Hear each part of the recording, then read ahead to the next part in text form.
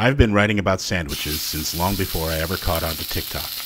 Yes, I know, blogs are horribly old fashioned, but I am both horrible and old.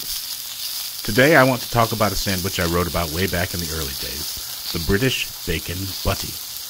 Now, my Midwestern mushmouth wants to pronounce that lazily, voicing the T's, which makes Bacon Butty into Bacon Buddy. We're not talking about a little porky pal, though. We're talking about a sandwich. In British English, the word sandwich will usually indicate sliced bread, whereas sandwiches using other types of bread will be named after that bread instead. A bacon roll, cheese cob, sausage bap, pie barm, etc. Butty doesn't indicate the type of bread, though, as I understand it. It can be any of the above, as long as some butter gets spread on it. I'm going to stick with sliced bread, though, regardless. The bacon butty may be served plain, with only butter and bacon. Or with HP sauce, which is similar to a smoother, sweeter A1 sauce, or even Japanese tonkatsu sauce. Or with ketchup, not my favorite, but we'll give it a shot.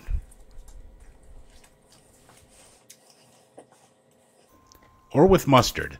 I'm using a British mustard called Colman's that has a pretty good kick to it. Much like the last time I made these, I don't completely get it.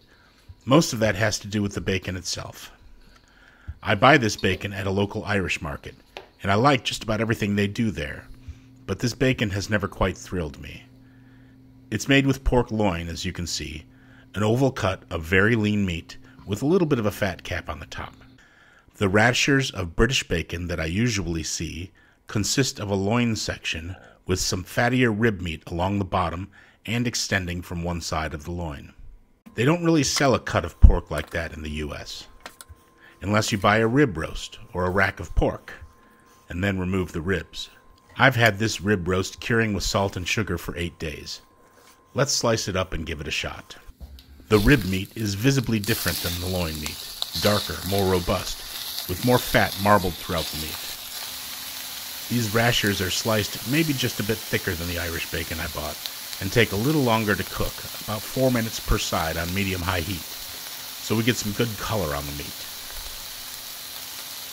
The thicker, fattier meat of this rasher is substantially juicier than those made from loin meat alone, and since the rashers are bigger already, three of them may be overkill. Anything worth doing is worth overdoing, though. I like both the HP sauce and the Colman's mustard, but the combination of the two is even better, reminiscent of the spicy mustard and tonkatsu sauce combination in some Japanese sandwiches.